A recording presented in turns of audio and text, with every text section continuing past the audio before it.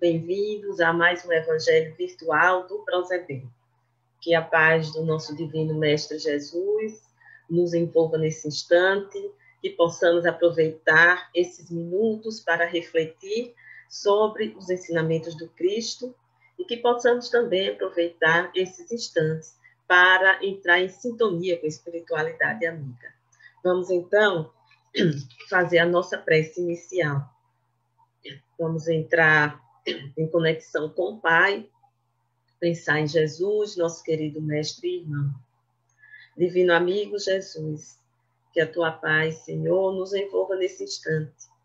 Nos ajuda, ó Mestre querido, para que possamos compreender e apreender os, os, as lições que o Senhor nos deixou e que hoje nós vamos refletir um pouco.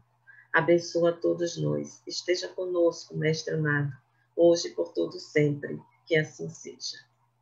Pois bem, meus amigos, eu trouxe para a nossa reflexão de hoje o tema perdão, que é um tema tão recorrente e é um tema tão difícil para todos nós, para a maioria de nós.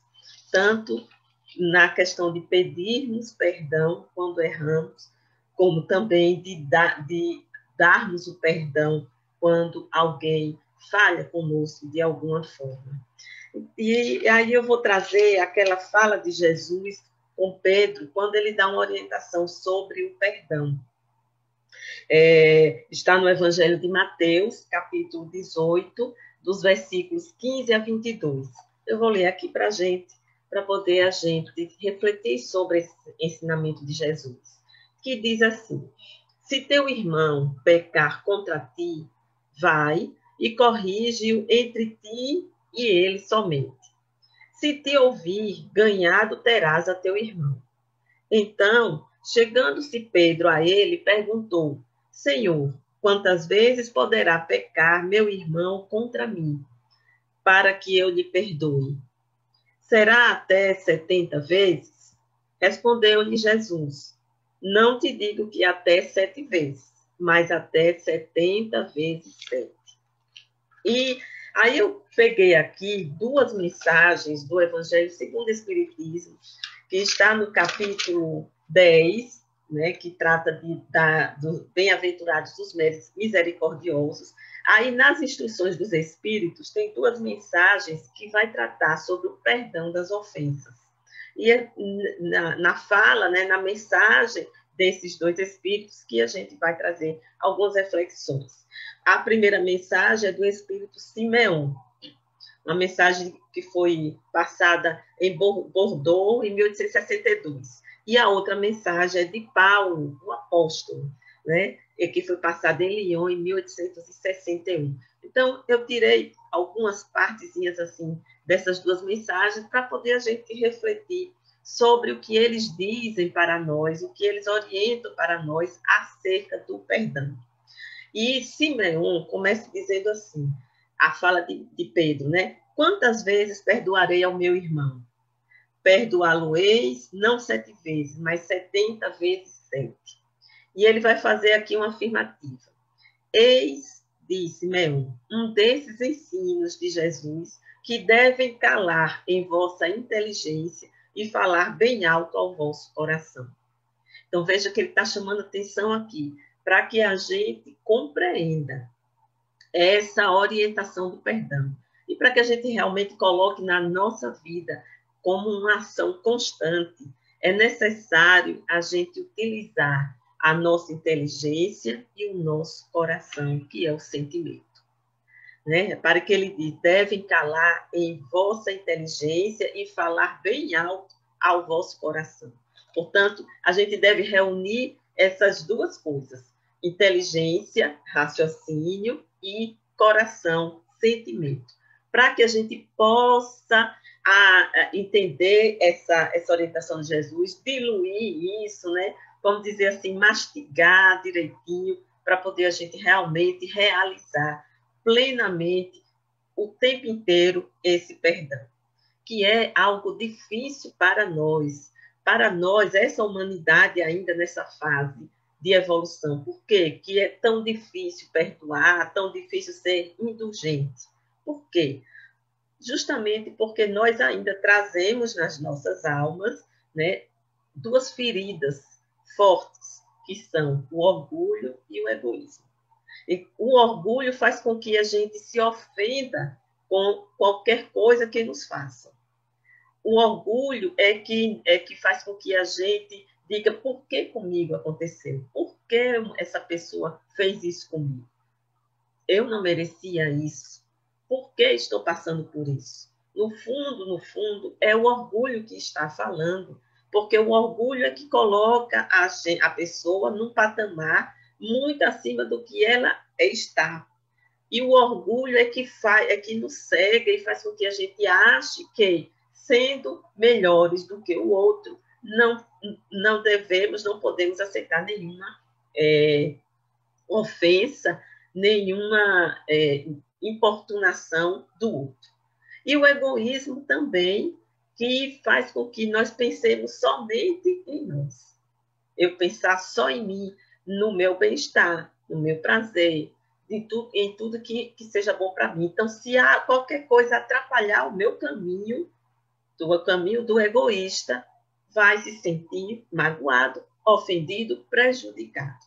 Portanto, meus amigos, pensemos bem: qualquer dor que chegue até nós, qualquer tipo de ofensa, que é, a gente considera, é claro, nós consideramos as dores que nós sentimos, né, da, daquilo que recebemos, mas analisemos, utilizemos a nossa inteligência e raciocínio, como propõe aqui o irmão Simeon, e a gente vai encontrar no fundo de muitas, que muita, de muito ressentimento ou raiva que nós temos e dificuldade de perdoar, nós encontraremos o orgulho, e o egoísmo, em todas as suas manifestações, porque desses, dessas duas feridas saem todas as outras falhas, né? A, a vaidade, a intolerância, e todas as a arrogância, todas as outras é, as outras fa, falhas humanas, elas advêm desses dois desses dois grandes é, dessas, desses dois grandes dessas duas grandes feridas então, a gente vai fazer então aqui esse exercício que Simeão propôs para gente. Usar a inteligência. Com a inteligência e o raciocínio, a gente vai compreender a fala de Jesus. Porque Jesus veio trazer para a humanidade a ideia de Deus Pai, de Deus Amor e de um Deus que perdoa sempre um Deus que perdoa sempre. Na oração Pai Nosso, ele já nos, nos ensinou a pedir perdão a Deus, mas, mas também na, com a condição de que, para sermos perdoados, devemos perdoar. Veja que, olha, em toda a, a, a vida que Jesus esteve aqui, ele falou do perdão e colocou na oração que ele nos ensinou.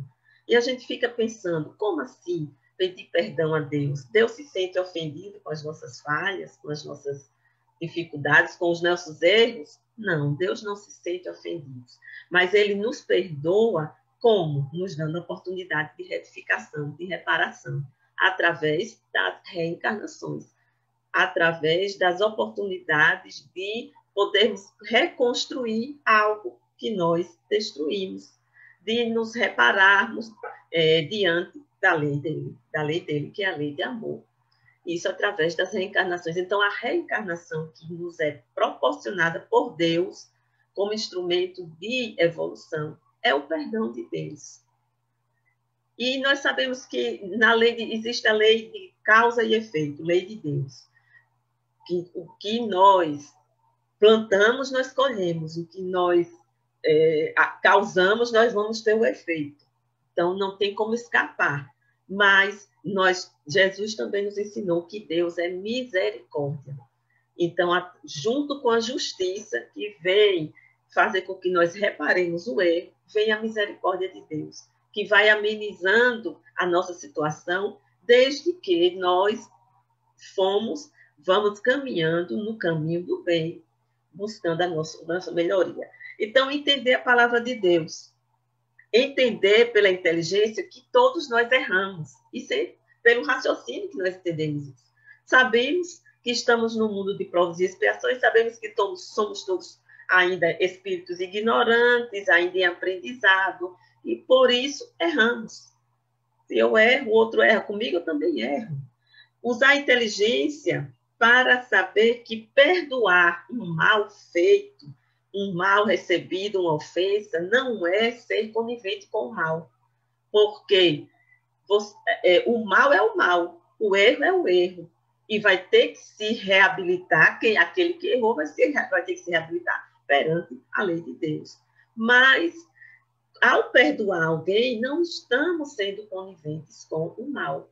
Quando Jesus teve aquele, aquela, aquele episódio da mulher, a mulher que foi pega em adultério, que aqueles homens levaram para Jesus, para ver a opinião de Jesus com relação à lei de Moisés, que mandava apedrejar, e que Jesus disse para eles: tudo bem, aquele que não tiver pecado, atire a primeira pedra, aquele que não queimou. E, e naquela hora, aquele magnetismo de Jesus jogou, clareou a consciência daquela, daqueles homens e nenhum deles jogou a pedra.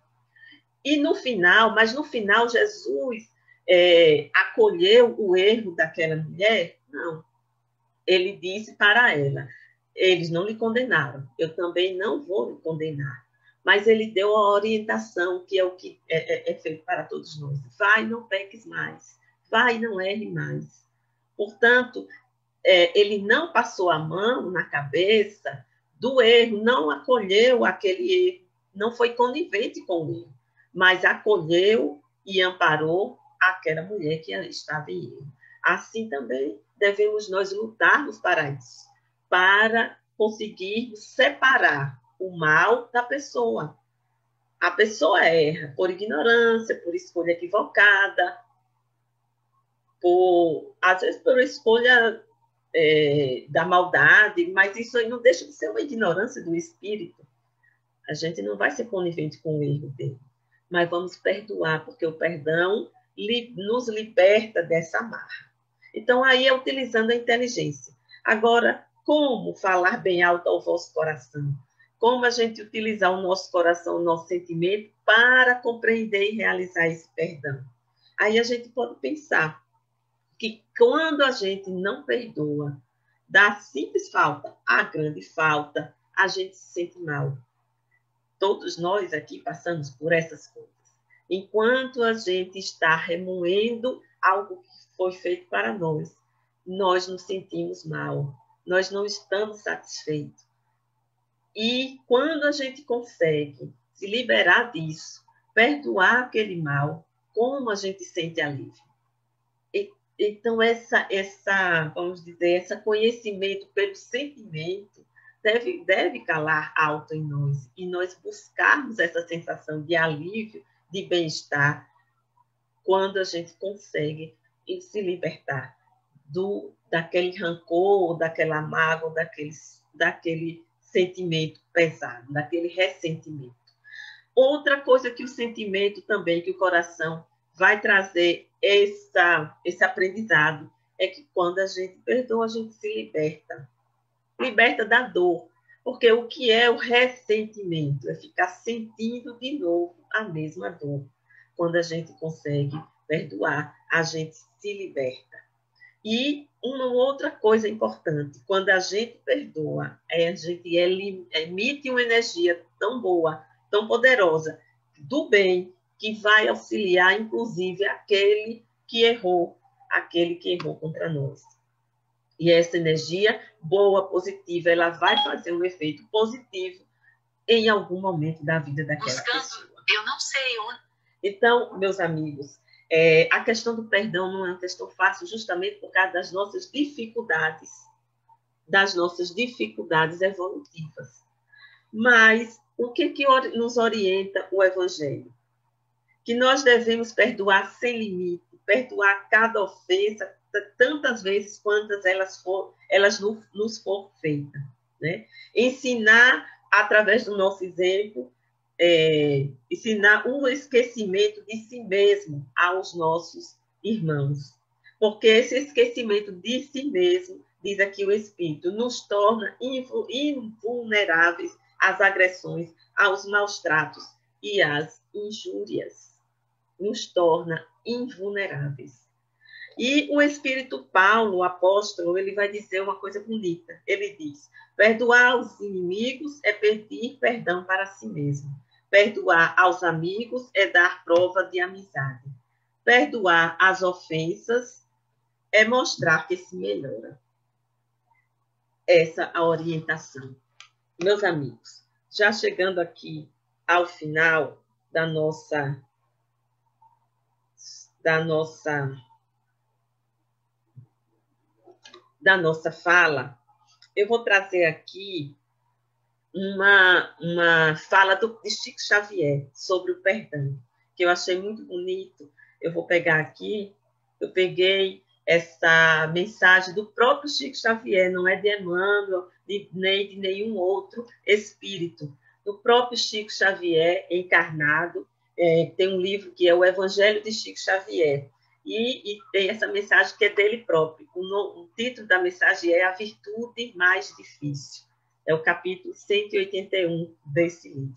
Vejam que coisa linda que Chico Xavier falou para nós, deixou para todos nós né, essa mensagem. Ele é uma mensagem curtinha. Ele diz assim: No meu ponto de vista, a virtude mais difícil de ser posta em prática é a do perdão. E nós sabemos que é, não é, meus irmãos? Nós, por conta das, da, da nossa ainda imaturidade espiritual, por conta dessa, dessas falhas, dessas feridas que nós trazemos, orgulho e, e egoísmo e as outras que são descendentes dela, nós nos machucamos. Nós machucamos uns aos outros nessas reencarnações que nós estamos caminhando. E precisamos realizar o perdão para que a gente avance. Sabemos que é difícil, muitas vezes as coisas pequenas não, mas as coisas maiores que nos abalam são difíceis. Por isso que Chico diz assim: no meu ponto de vista, a virtude mais difícil de ser posta em prática é a do perdão. Ele diz: perdoar exige um esforço de autossuperação muito grande. E é verdade. Aí ele fala: Emmanuel me diz que quem aprende a perdoar tem caminho livre pela frente. Olha, é nisso que a gente tem que se. É nisso que a gente tem que ter o objetivo. E então, é, Chico Xavier continua. Creio que, por este motivo, a derradeira lição de Jesus para a humanidade foi a do perdão ele a deixou por último, esperando o momento em que pudesse exemplificá-la.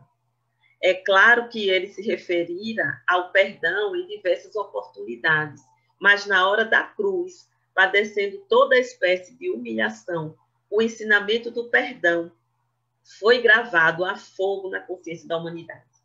Olha o que Chico está dizendo. Muito bonito isso. Ele diz que a derradeira lição a última lição que Jesus deixou, vivenciou foi a do perdão, quando ele estava lá na cruz.